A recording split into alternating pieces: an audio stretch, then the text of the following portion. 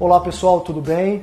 Estamos aqui na Farmácia Viva, né, na UFC, esse projeto sensacional de valorização de insumos regionais e utilização de plantas regionais como fitoterápicos, né, como alternativa para os remédios tradicionais. Né?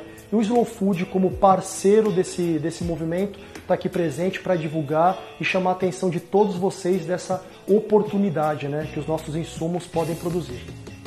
O projeto Farmácias Vivas, ele foi um projeto de extensão que surgiu através do professor Francisco José de Abreu Matos, farmacêutico, professor da Universidade Federal do Ceará. Ele teve como objetivo levar o conhecimento científico das plantas medicinais para a população.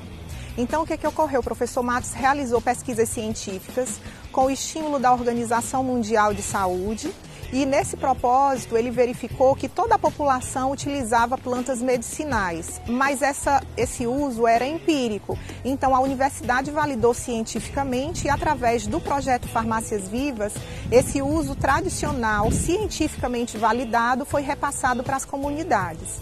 Hoje, o projeto Farmácias Vivas não é mais um projeto, ele é um programa e existe no Brasil inteiro. Aqui no Ceará é coordenado pela professora Meiriane Medeiros Bandeira, também farmacêutica, ela que dá continuidade ao trabalho do professor Matos. Eu faço parte aqui da Universidade Federal do Ceará com as outras equipes, mas nós temos cerca de 174 farmácias vivas já instaladas no Ceará, entre tipo 1, 2 e 3, né?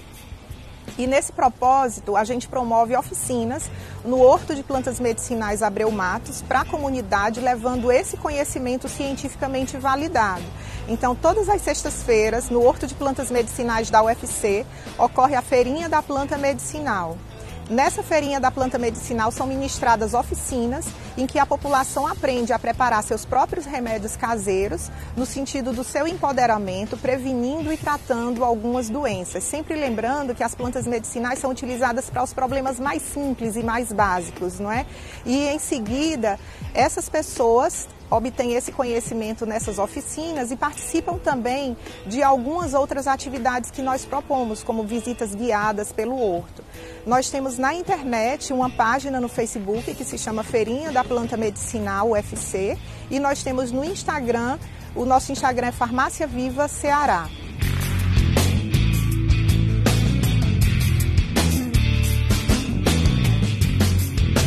Todas as sextas-feiras a gente desenvolve esse trabalho aqui no Horto de Plantas Medicinais, então, através de oficinas. Então, o que é que a gente desenvolve nessas oficinas? É falando é, é, para a comunidade a forma racional né, do uso das plantas medicinais. Porque as pessoas acham que é natural, pode usar de qualquer jeito. Não é bem assim. Então, desde 2012 que a gente desenvolve esse trabalho. E aí a gente começou, o que é a farmácia viva? Porque as pessoas não sabem ainda o que é uma farmácia viva. Acha que qualquer planta assim que tem no canteiro, alguma coisa é farmácia viva. E não é. Farmácia viva é mais além, é, é uma farmácia viva padronizada, é um horto padronizado.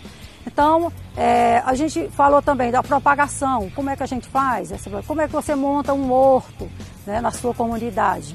Então, é, e também nas plantas, a gente está agora na fase das plantas. Todas as sextas a gente fala de uma planta. Então, é, o que é que a gente fala dessa planta? O nome popular, o nome científico, é, quais são os estudos que já foram feitos dessa planta, quais são os estudos que estão sendo feitos, se, se existe patentes, quais as preparações dessas plantas, a propagação. Então, é uma forma assim, bem completa de mostrar cada planta, principalmente as 30 plantas do SUS.